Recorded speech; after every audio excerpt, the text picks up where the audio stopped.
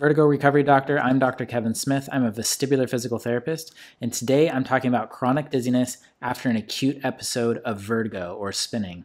So it's one thing to experience sudden, sudden spinning sensation, but what happens if you're left with this kind of chronic dizziness or just kind of left off with this imbalance or, um, you know, dizziness feeling off that just doesn't go away?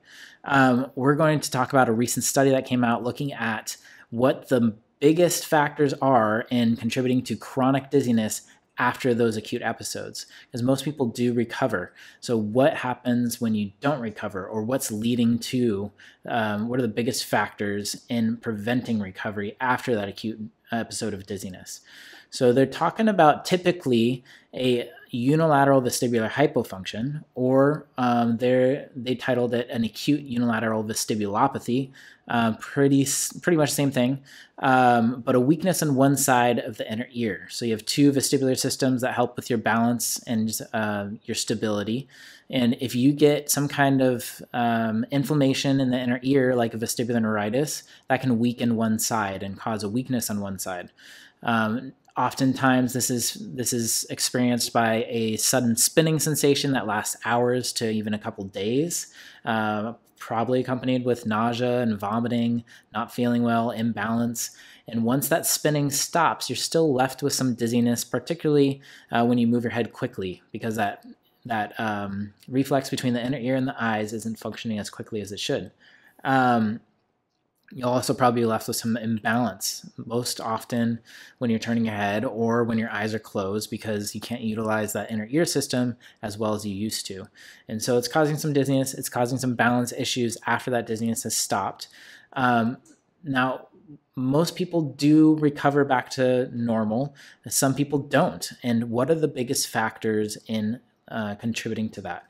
Uh, so let's take a look at this research, this new research article that came out um, and see what they found. So, the biggest factors that they found that contributed chronic dizziness are one psychological factors. So these would be level, high levels of anxiety, high levels of depression, or fear avoidance. And what we mean by fear avoidance is that they're avoiding activities that may make them or may trigger their dizziness. Um, these were strongly associated with chronic dizziness after an acute episode. So after acute episode of spinning, um, these are these are some of the factors that have contributed to uh, leading towards chronic dizziness. Now the second thing is a visual dependence um, on for your balance. So what this means, and it's very common. Um, it's actually kind of what the brain does after you have some kind of disruption to your sensory systems, it's going to depend more on another one that it can trust. So it can't trust your inner ear anymore. It's going to depend more on the on the vision vision on the visual system for your stability, which makes sense, right? Um, now, what happens is that people get stuck in that mode of not trusting their inner ear again, and end up just trusting their their vision and the vision can be very misleading. So if you're in a crowded area or a busy visual environment um, it may be difficult to find stability to find a point to focus on to keep your balance. And so it's easily thrown off and especially if you're in a dark or dimly lit area you can't really use your vision that much. And so that may throw you off balance um, or make you feel a little bit dizzy if not all your sensory systems are working together as they should. And if you're over relying on your dizziness, on your vision for your balance and not trusting your inner ear again or doing exercise, trust your inner ear again, then that will can lead to uh, a more chronic dizziness, particularly looking at um, conditions like 3PD, persistent postural perceptual dizziness. This is a, a big uh, factor in pe- people who are experiencing that.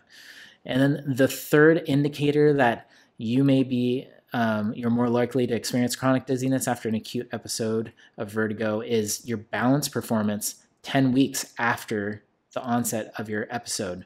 So let's say you had the spinning 10 weeks later, you're still having issues with your balance, you're more likely to have a chronic dizziness problem. And this makes sense as well. If not all your sensory systems are working together, your brain can't make sense of what's happening, then you're probably going to be a little bit off balance too.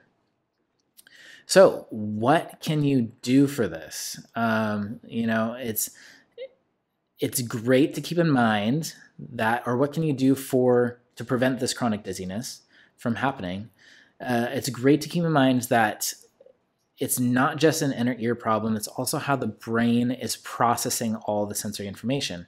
Now, if you have any of those psychological factors like anxiety, depression, uh, fear avoidance, these can put you into a heightened state where your brain's not going to be able to adapt.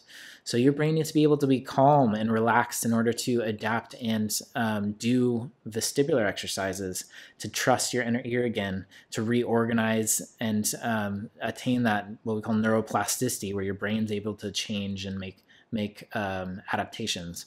So these are things that need to be assessed or need sorry need to be addressed. Um, I highly suggest that if you are experiencing any of those issues, that you do some kind of cognitive behavioral therapy or um, see a psychotherapist um, to address these issues, mental health professional, um, because you're going to be much more successful in recovering your from dizziness and balance disorders if you're going to do a multifaceted approach. Because it's not just an inner ear problem right now.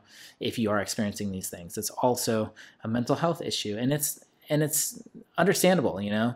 Experiencing vertigo is scary and so that can kind of that can really throw a wrench in your life. It can um, i i understand you wanting to avoid things but um, to prevent triggers of dizziness but it's not going to be optimal for your health and your well-being going forward. So it's really important to get those addressed. Make sure you see a mental health professional.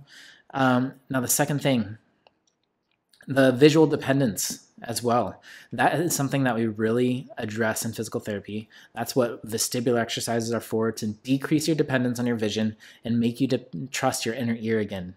So your brain is going to adapt for that weakness in the on on that one side and what how we do that is we kind of force it to by doing vestibular exercises, making it less making your body less dependent on your vision and more dependent on your inner ear for your balance. So you feel more grounded and stable.